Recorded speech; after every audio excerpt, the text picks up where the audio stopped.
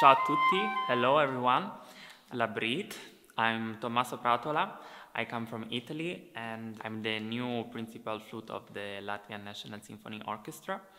And um, I'm here for you to show some of the uh, characteristics of the flute and difficulties and maybe some uh, small tricks on how to deal with them. For me, um, the most important thing is always to to relate the technique and the flute playing uh, to the music. So that means not to just check um, staccato or vibrato, intonation, which are for sure important, but always to connect them with the piece of music um, we are playing.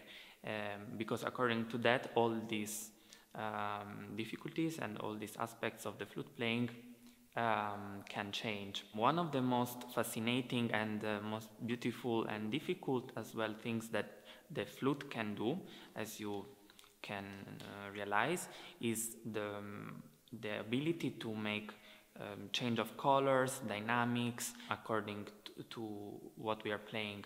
And one of the most uh, important um, pieces written for flute that shows this ability of the flute is for sure the Prelude à l'après-midi d'un faune uh, by Debussy. And um, it's always been a very difficult uh, piece for everyone, how to start uh, the, the first C sharp, how soft, uh, which uh, color, and so on. So in this case, for example, we know it's um, um, impressionistic piece. So, and if you uh, check the story, also it's about uh, the faun trying to seduce the nymph. So it's about a love story, of seducing story. So as the kind of sound as well has to um, represent um, this this story. And uh, the faun itself, it's a very mysterious, ambiguous character. So as well, the sound cannot be too concrete and uh, focused. So how to make this? Um, if we just start with a small soft sound, this would be too normal. So how to make a, um, uh, the right sound for this beginning?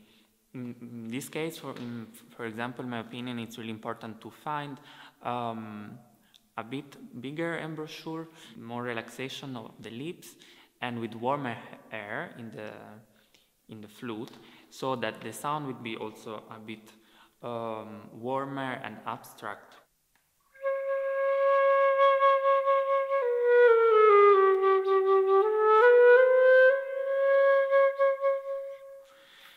For example, instead of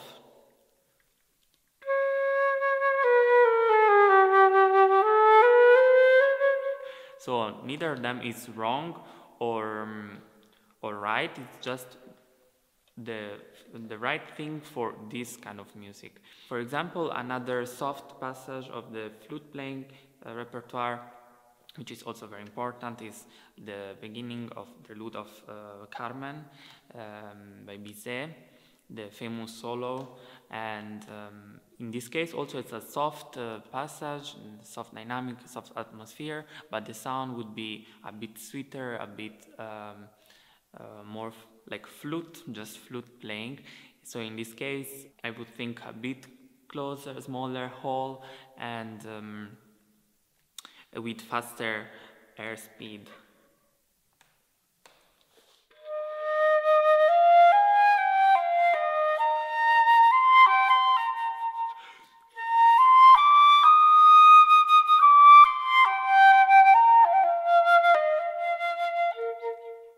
So as you can see, we started from very uh, soft passages with very abstract sound, getting with more concrete sound in Carmen. So in the end, for both these uh, excerpts that both represent the soft playing of the flute, um, it's always important to remember the, the story and the kind of atmosphere we want and to change with the technique the, um, the kind of sound that will represent more the um, the story of these pieces.